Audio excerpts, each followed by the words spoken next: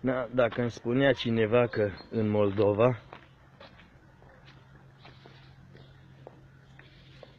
poate să stea, că nici nu știu ce să spun, poate să stea o mașină cu patru zile și patru nopți, cu bagajul, tot și bagajul ce l-am avut cu, cu noi, undițe, uite, ladă frigorifică plină cu, cu, cu pește, genți, tot felul de marafeturi ce străbă la drum, fără să umble nimeni, nici măcar mașina închisă. Asta nu putea să cred. Sunt în, în Huș, în Huș, uite, într-un lângă centru. Uite, un loc frumos, patru zile și patru nopți, mașina mea a stat în, în parcarea asta, patru zile și patru nopți, fără să iau nimic din mașină.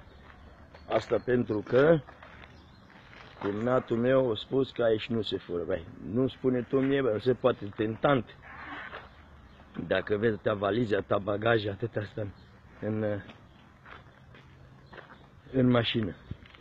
Păi, păi zice, păi, eu cu săptămâni nu iau laptopul din mașină, zice ăla, n-ar fi fost tentant până acum.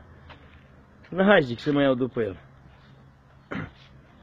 Când să închid mașina, nu mai am baterie la, la, la, la cheie. A trebuit să rămână mașina și, de, și, și neînchisă. Dacă cineva îmi spunea că în Moldova se întâmplă treaba asta, nu o credeam. Argumentul lui a fost, zice, băi, cum date hoții, derbedei și, și sărăntocii au plecat, bă, s-au, s-au dus să fure până altă parte, s-au dus până Occident să ne facă de râs pe acolo, aici au rămas oamenii de treabă. Adevărul e că are dreptate. M-am convins că moldovenii sunt oameni super.